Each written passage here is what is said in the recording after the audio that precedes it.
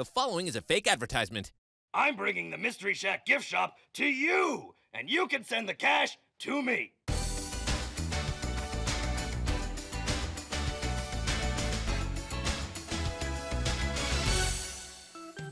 For centuries, internet scholars have debated the significance of deer teeth.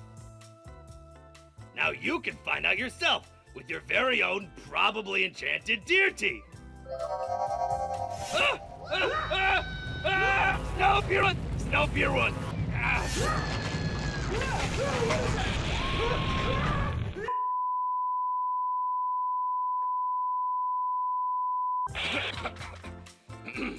and we're back. Uh, we're gonna go ahead and move on to our next item. Looks like we're all in a deer teeth, so uh, don't ask.